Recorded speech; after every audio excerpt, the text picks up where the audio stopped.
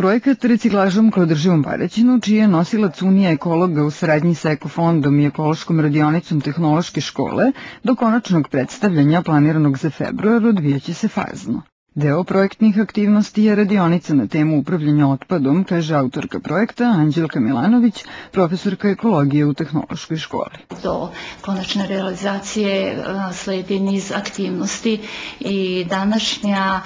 organizacija radionice u tehnološkoj školi je samo jedna od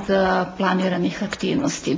E, cilj današnje radionice je prezentovanje reciklaže otpadnog materijala i upravljanja otpadnim materijalom. Saradnici na projektu iz Unije ekologa i ekofonda održali su predavanja na temu recikliranja i upravljanja otpadnim materijalom predavanja vezano za upravljanje otpadnim materijalom, reciklaža otpadnog materijala, e, bit će reći i o našoj deponiji Vuljanka i uopšte o čvrstom otpadnom materijalu.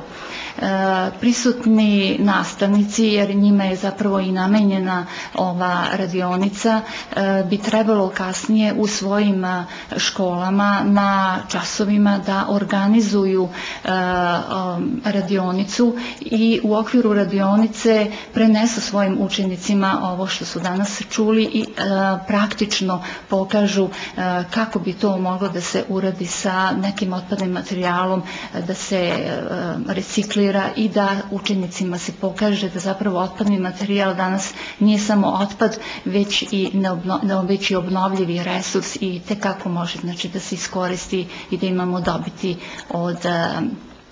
od ove vrste materijala. Radionici su prisustovali učenici prvog i drugog razreda tehnološke škole smera tehničar za zaštitu životne sredine. Smatramo da je njihova, da je radionica e,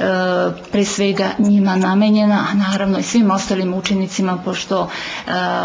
apsolutno treba raditi na podizanju ekološke svesti i razvijanju e, i usmeravanju e,